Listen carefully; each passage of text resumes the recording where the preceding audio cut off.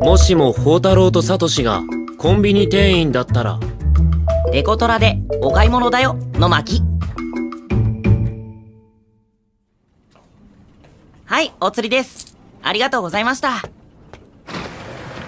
宝太郎お客さんにちゃんとありがとうございましたって挨拶してよ。サトシ俺はやらなくてもいいことならやらない。挨拶をやらなくてもいいなんていうコンビニ店員は宝太郎くらいだよ。ん何の音？ドアが自動で開きました。チタンダシタンダさんあの派手なトラクターで来たの？はい福部さん。自慢のデコトラです。コース取りは任せてください。トラクター野郎だな。オレキさんこのお店は何でも売っているそうですね。いやーろくなもん置いてないぞ。店員とは思えない発言だね宝太郎実は畑を耕している途中で肥料を切らしてしまったんです。チタンダコンビニに肥料は置いてない。じゃあ取れたての野菜は売っていますか？野菜ジュースならある。そんな取れたての野菜を仕入れないなんて農家の苦労を何だと思っているんですか？ああ落ち着いてチタンダさん。チタンダコンビニは所詮コンビニだ。何誘ったように言ってるの宝太郎。あのお弁当お願いします。はい。えー、っと648円。めんどくさいから600円でいい。ちょ勝手に値段変えないでよ宝太郎。お会計ちょっと待ってください。ハバスちゃん？なんか用か？チタンだ。うわ幅かよ。こちらはチタンダ家の使用人のハバスちゃんです。ふん。要件をさっさと言え。僕は暇じゃないんだ。態度悪っ。ハバスちゃん？あれを？しょうがないな。ちょっと待ってろ。オレキさんお会計1鶏で足りますか？チタンダさん一鶏って何？ああちょうどだな。あ？あレジに入っちゃった。ごきげんよありがとうございました。ああ送り出しちゃった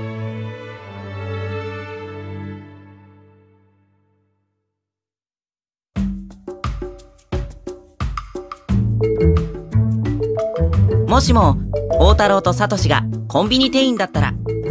呼ばれてないけど救急車で駆けつけたよの巻。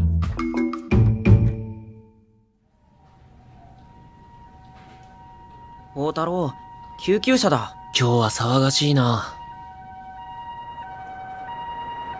なんかこっちに向かってきてない？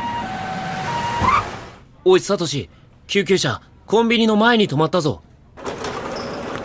うやあオレキくん福部くんイリス先輩何かあったんですか？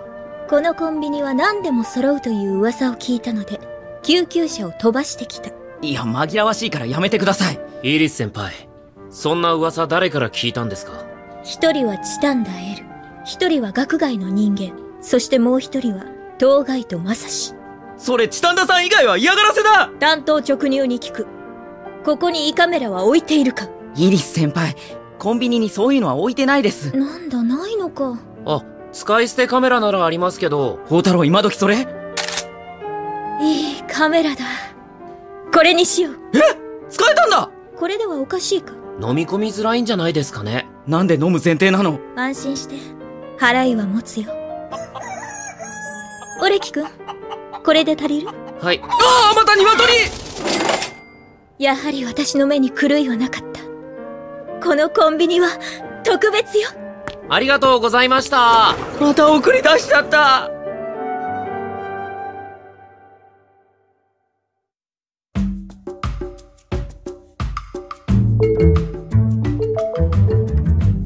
もしも宝太郎とサトシがコンビニ店員だったら。強盗が来たよの巻。いらっしゃいませ。お、おい！あれ？当該と先輩？おい！か金を出せ！え？わかりました。宝太郎？ああにに逃げる逃げる！捕まえて宝太郎！わかった。待てこの！お、おい！